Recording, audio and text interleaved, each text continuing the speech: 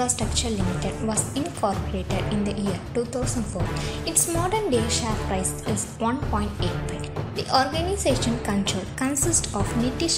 Mhatre, Vinod B. Agarwala, Sonali Chaudhary, Diana Sanjay Hatekar, Char Tata Naik, Anand Patkar, Milind Naik, and Balasubramanian Manoj. Tirodkar.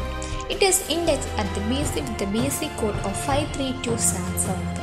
In the near term, GTL Infra is still not ready to any major kind of breakout from here. The company is not providing any dividend in past 10 years and dividend payout is 0%. Company has low interest coverage ratio.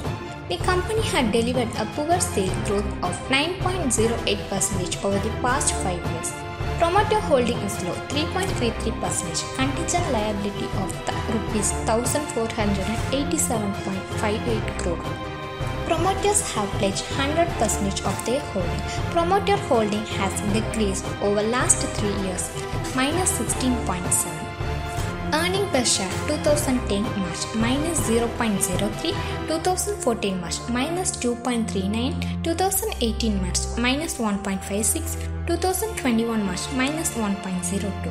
Net profit 2010 March minus 3, 2014 March minus 551, 2018 March minus 1893, 2021 March minus 1271. As we see before, GTL Infra had not made any good financial gains and it is not advisable to invest with GTL Infra. Your current investment may be devalued in the future. See monetary performance of GTL Infrastructure. Please have a look at the other parameter which includes valuation, free momentum, information and company governance or seek advice from a funding marketing consultant earlier than taking a funding decision.